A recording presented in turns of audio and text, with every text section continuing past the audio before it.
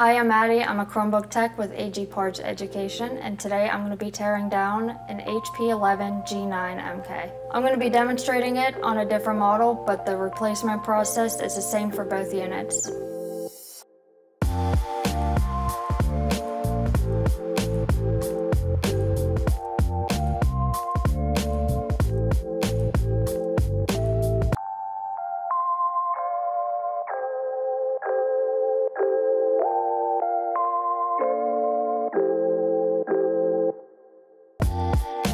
So what you want to do first is turn the computer around so that you're on the back cover and take all the screws out of the bottom cover.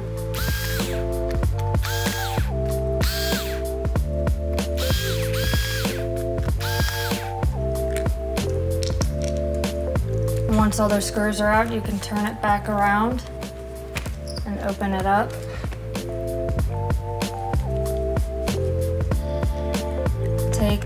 A to get underneath of the palm rest and lift it up.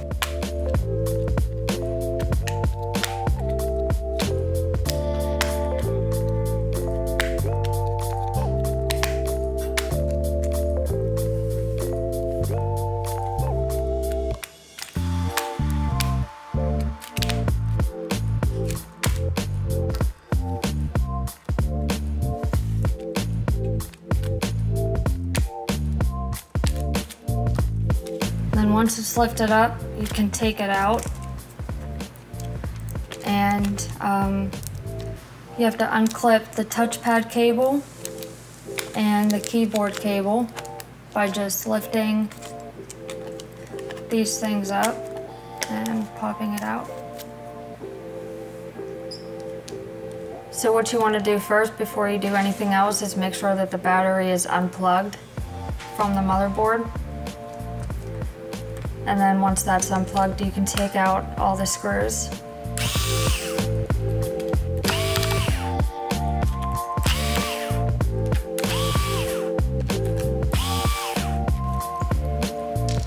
So to get to the battery, you have to take out the speakers first.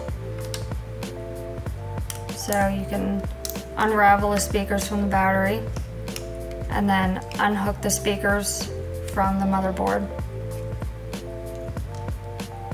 And then you take off the battery bracket and then you can take out the battery. So first you want to take out all the screws in the motherboard.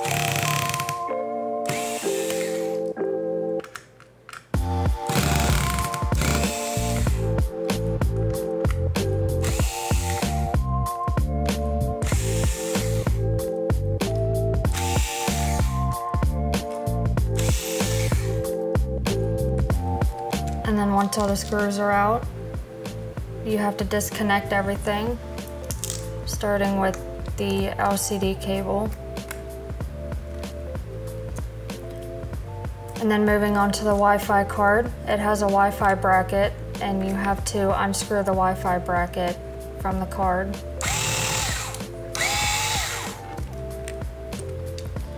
Once that's unscrewed, you can take off the Wi-Fi bracket and unhook the Wi-Fi card. And then lastly, you can unhook the um, USB ribbons. And once everything's disconnected from the motherboard and all the screws are out, you can take out the motherboard, keeping in mind that the ports are on the side of the computer, so try not to lift it up you can wiggle it out of the ports. So to put the motherboard in, you want to be careful with the ports and line them up. And once they're lined up, you can just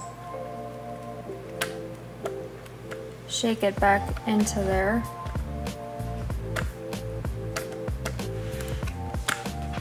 Like that. Making sure that there's nothing underneath of the motherboard.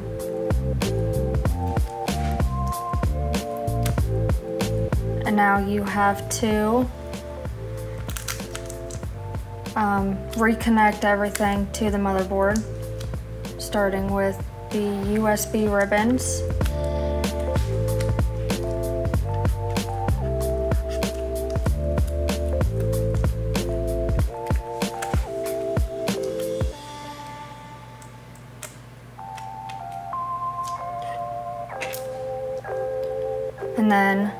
Wi-Fi card, you can connect that into the motherboard.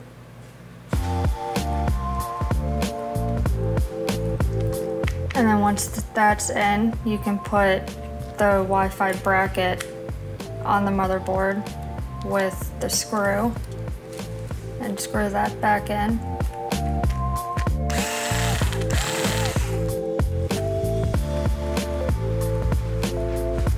Then moving on to the LCD cable.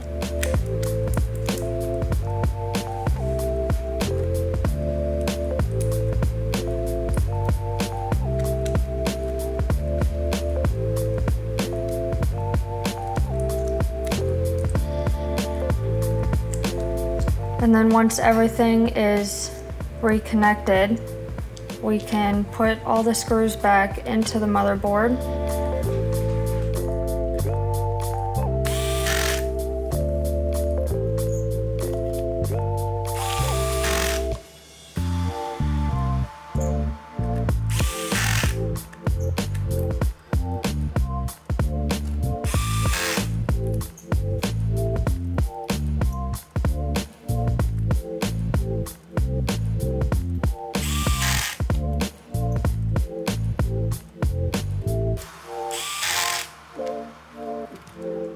So you can just place the battery in like that. Make sure you do not plug it in until the very end because it can mess up the motherboard. So then after you put the battery in, you can just put the battery bracket right on top. And then the speakers, you can put the speakers in making sure that they're on the right side. They're labeled with an R for right and an L for left.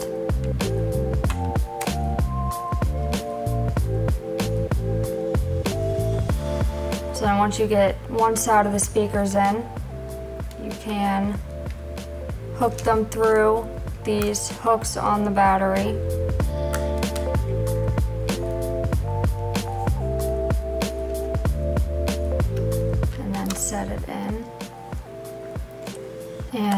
You can plug the speakers into the motherboard.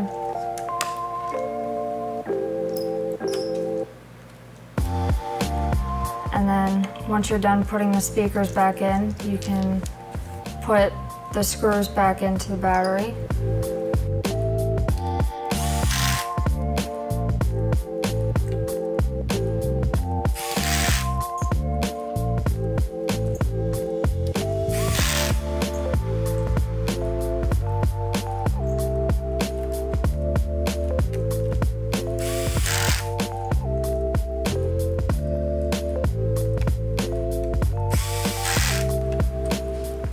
All the screws are in, now you can plug in the battery to the motherboard.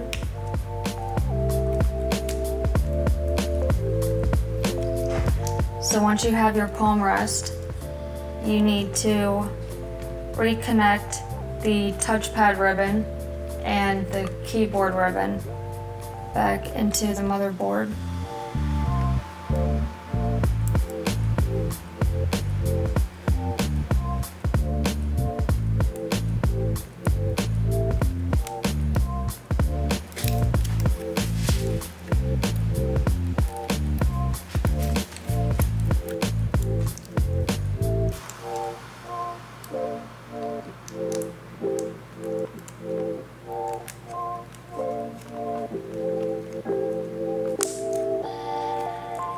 Once those are reconnected, then you can place the palm rest back on top and snap it back in.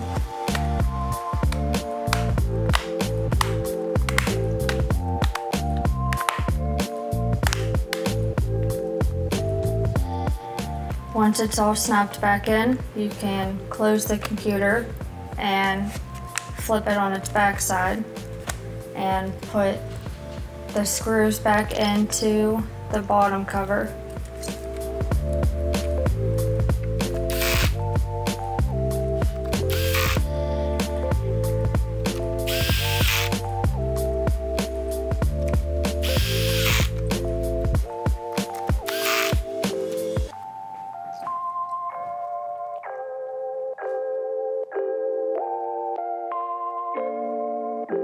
I'm going to verify the repair by opening up the computer and hitting the power button.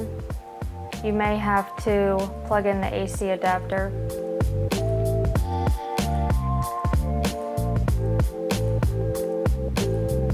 And if the screen comes on, then the repair was successful. So now you can power off the Chromebook.